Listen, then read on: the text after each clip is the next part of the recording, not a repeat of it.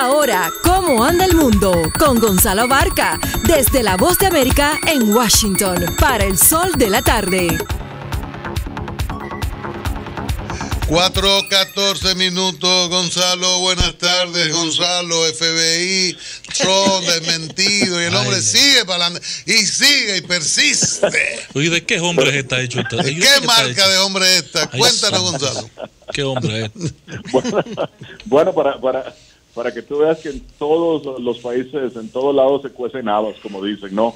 No, Eh, Venezuela le va a quedar chiquito a Estados Unidos. Imagínate. Fíjate, el, eh, definitivamente el, eh, el, el director del FBI, James Comey, ha confirmado de que, como, como es noticia mundial, de que el FBI en ningún momento, o el Departamento de Justicia en ningún momento No ha espiado la torre Trump eh, cuando el presidente, el ahora presidente Donald Trump era candidato negado categóricamente. El presidente Trump dijo que él dio el análisis legal de un juez que un juez que había sido ejercido como tal en el estado de Nueva Jersey en el canal de televisión Fox. Él dijo que lo había visto, lo había escuchado y ese juez, que es un analista legal, había sugerido que los servicios de inteligencia británicos a, a pedido del presidente Obama habían espiado a el señor Trump porque legalmente no se puede hacer, pero si lo hace una potencia extranjera o un país extranjero sí se puede hacer. Así es que eso lo ha negado el FBI, lo, con lo cual el presidente Me va a Trump, decir que pues, sí. queda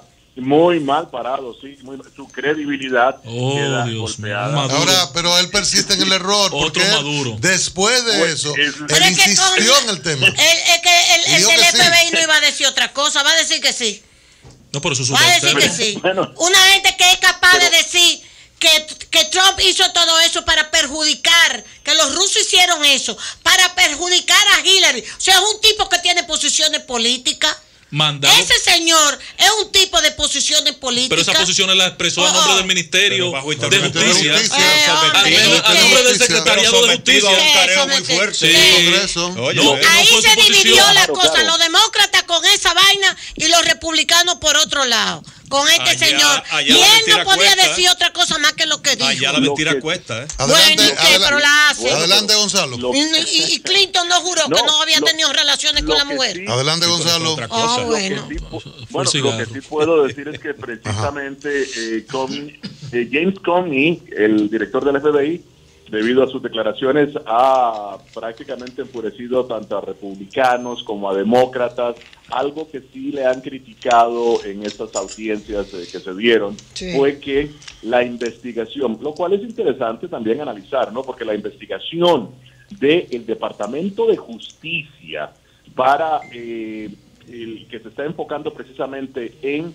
funcionarios o miembros del grupo Trump, del equipo de Trump, que pudieron haber tenido contactos con los rusos, se estaba realizando en momentos en que salió el escándalo precisamente de Hillary Clinton, de los correos electrónicos y de su eh, asistente. Es decir, en ningún momento Comey eh, ofreció, lo cual hasta cierto punto el FBI no lo hace, pero no dijo que había una investigación en realidad que se estaba realizando también contra eh, el candidato Donald Trump, Donald Trump cuando eh, habló ante el Congreso y dijo que efectivamente en una carta que había enviado que chino, un país, estaba que realizando una que investigación la contra la señora Clinton.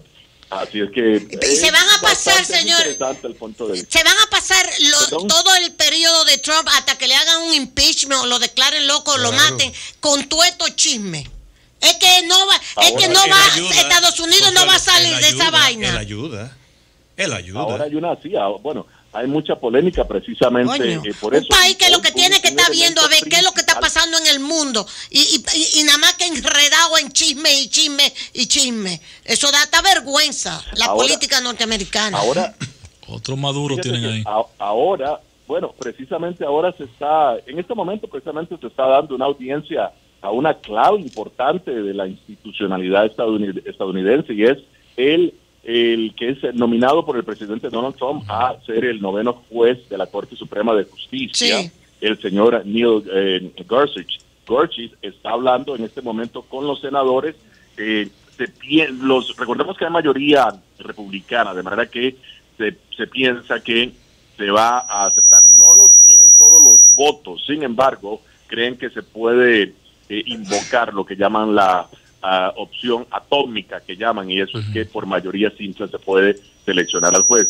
Y si Comey queda, bueno, ahí es donde precisamente el señor Trump podría tener un arma a su favor, porque todas estas órdenes que le han suspendido, las órdenes ejecutivas que están suspendidas en este momento Sí. debido a la decisión de jueces en Estados Unidos, si va a la Corte Suprema, el señor Comey las, eh, las haría, las descartaría y tendrían toda la validez que el señor Trump quiere. Lo mismo que se volvería a tocar el tema del aborto, que es un tema bastante polémico, un tema muy, muy discutido en este momento, y el señor Comey, de acuerdo a su voto, eh, no favorece el aborto, eh, podría, de acuerdo a su razonamiento jurídico, el mantener la legalidad de los decretos ejecutivos del señor Trump, que es que por razones de seguridad, no por razones eh, religiosas, el, presidente de Estados Unidos puede decidir que, fu- que ciudadanos de ciertos países pueden ingresar a Estados Unidos o no. Así es que en este momento se está dando en estas audiencias y eso es lo que está pasando de momento en Washington, pero bueno, como digo, en todo, en to- por todos lados hay escándalos y por todo, en todo lado se cuecen habas, ¿no? Bueno, gracias Gonzalo. Gra- eh, eh, se murió David Rockefeller, que ahora le dicen que Ah, era una sí. buena persona, ese hijo de su madre. A los ciento, a los A lo- 101 debió haberse años, muerto buenos antes. genes tenía.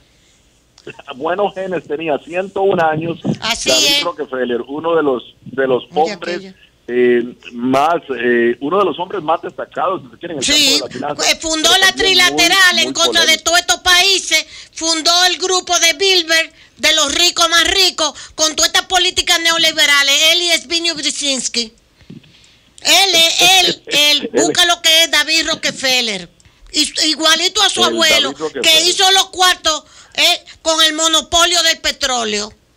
Y acabando y matando gente, Bueno, su se murió, abuelo. déjenlo descansar en no, paz. que se, no, que no descanse en paz, que se vaya para el infierno, que nos dejó a toditos Wow, mucho. Gonzalo, bye Gracias, Gonzalo, Gonzalo. hasta Ok, luego. hasta luego.